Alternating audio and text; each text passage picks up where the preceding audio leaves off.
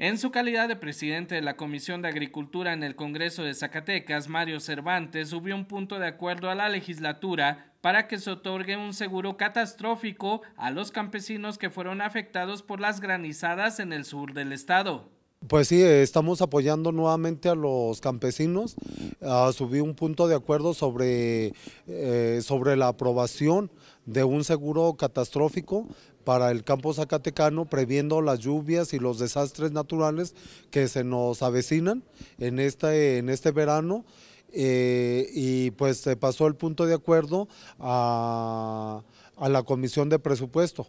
y ahora nuevamente voy a subir el punto de acuerdo porque eh, ya vieron en el sureste de nuestro estado lo que acaba de pasar. En la semana antepasada, que hubo un desastre natural, una granizada, donde todas las hortalizas en Loreto,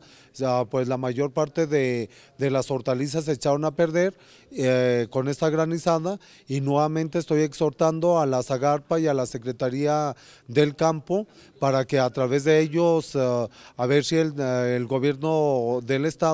pues uh, pone en marcha un, uh, un, programa operativo para todos los productores, porque ya los campesinos, uh, los productores de hortalizas, están diciendo que no se les va a pagar nada, que no hay un seguro para,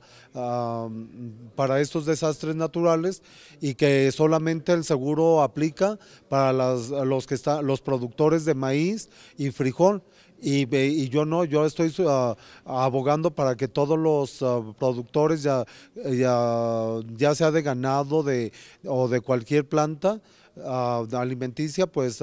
se vean favorecidos por un seguro catastrófico. Con imágenes de Julio César Lara para B15 Noticias, Alfredo Jiménez.